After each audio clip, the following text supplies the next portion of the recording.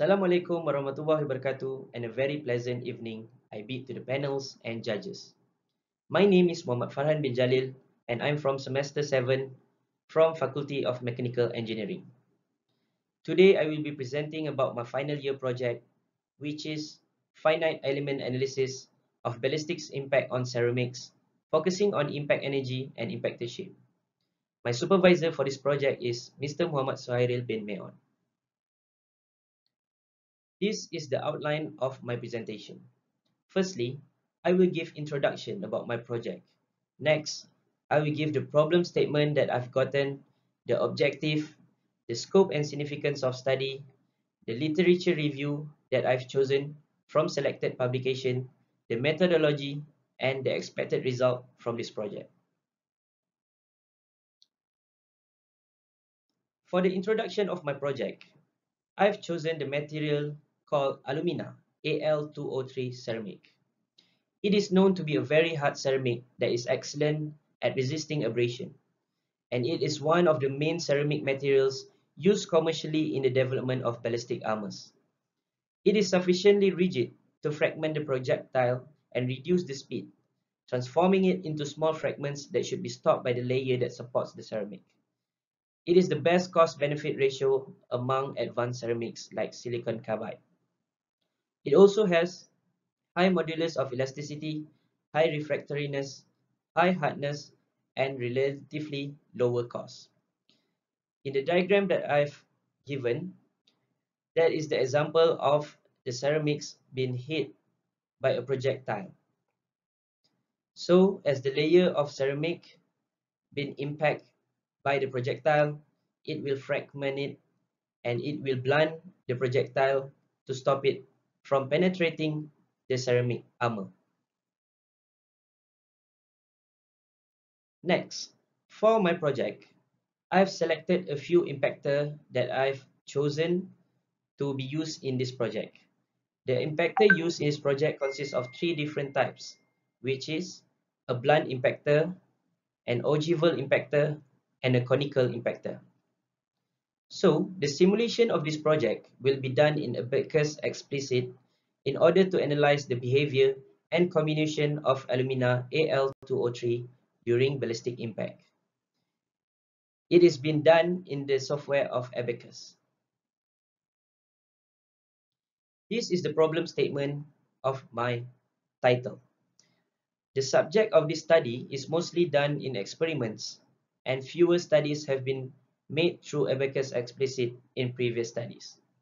So as you can see in the diagram below, at the left one, it is a gas gun system, which researchers use to study the fragmentation of ceramic during ballistic impact. Next, previous research did not compare the different type of impactor shape and different impact energy of projectile and how it affects the comminution of ceramic. Because ceramic tile experiments only are so uncommon, there is relatively little experiment data available based on the numerical approach. Mostly, the research papers are being done from an experiment. This is the objective of my project. It is to develop three-dimensional finite element models of ceramics alumina Al2O3 against various types of impactor shapes and impact energy. Next, to predict the structural responses of ceramics using the Johnson-Holmquist JH2 damage model. And next, to analyze the behavior and damage pattern of the models with respect to the impact energy and impactor shape of the projectile. These are the few examples of uh, simulation that will be made in the next semester of FYP2. For the scope and significance of study, this research focuses on modeling using Abaqus explicit and not experiment. In this work, experimental data will be obtained from selected publications to mimic the experiment in dynamic analysis. Damage model of Johnson-Holmquist JH2 will be implemented on alumina Al2O3 ceramics with respect to different types of impact energy and impactor shape. So, there are three different types of impactor shape that being used, which is blunt, ogival, and conical projectile. So the two different impact energy that have been chosen will be implemented to produce six different damage models. So based on the literature review that I've been summarizing along this semester, I can conclude that based on the papers, there are a few significant conclusions that have been made from the researchers. Firstly, Andreska et al. concludes that fracture toughness and hardness have been found to be the most important parameters affecting the impact strength of ceramics. The target hardness helps with projectile erosion, while fracture toughness affects a ceramic's ability to withstand multiple impacts. And Goel et al. Micro-attenuation takes place within ceramic tiles, and as it increases, the farthest distance traveled by the wavefront from the point of impact decreases. And to the last one, Ryan et al. in their studies of the relationship between radial prestress magnitude and ballistic projectile dwell in heavily confined ceramic target, found significant cracking on ceramics but an absence of residual penetration from the projectile into the backing steel and classified it as interface defeat or prolonged dwell. So this is the methodology of my project. Firstly, modeling ceramics with different impactor shape and impact energy. A three-dimensional damage model is developed using Abaqus Explicit with 3D solid elements. The ceramic material assigned for the model is alumina Al2O3, and the three types of projectiles are used which are blunt, ogival, and conical. This will be transferred into a simulation in Abaqus Explicit. Next, the validation of damage initiation and growth. So there are two different impact energy that are being applied on each model which has different impactor shapes as shown in table 1. The comparison between the performance of the Johnson-Holmquist damage model will be plotted in a graph. So for the analysis of the damage model, the performance and damage patterns of six models with respect to alumina Al2O3 ceramics will be analyzed. The failure patterns of ceramic comminution and projectile damage of the models will be examined. And lastly, documentation and report writing. The theory and data of the obtained result are documented in the thesis report. The thesis report is written for publication purposes. The overall process to complete the project is visualized, in the next slide. This is the flowchart of the project. As you can see on the right side, it is the test matrix that has been prepared for this project.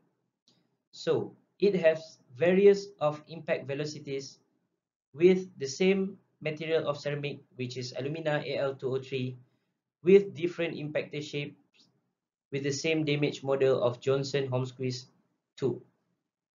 So in the flowchart, it started with the modeling phase. So the alumina Al2O3 will be set as the input material selection.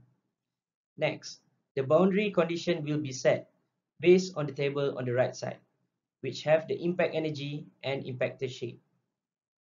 Then, the damage model that has been chosen will be implemented, which is Johnson Holmquist JH2. Next, after the modeling phase has been done, we will run the simulation. After the simulation has been done, we will check the result whether it satisfies or not.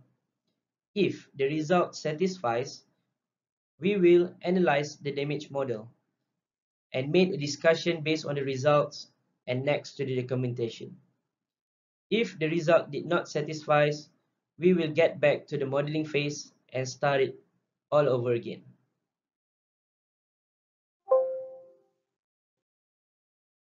This is the expected result of the project.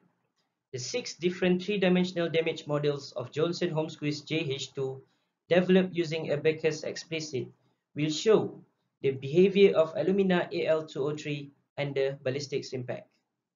The different impactor shapes will be documented to determine which damage model performs better. And the different impact energy will show the influence on the failure behavior of the damage models. The failure pattern, such as ceramics comminution and projectile damage, could be analyzed. The implementation of Abaqus Explicit in the numerical approach leads to high accuracy in predicting the failure behavior of the alumina Al2O3 ceramic. That is all for my presentation regarding my final year project. I hope you will get a better understanding regarding my project and I wish you a best day ahead. With that, thank you.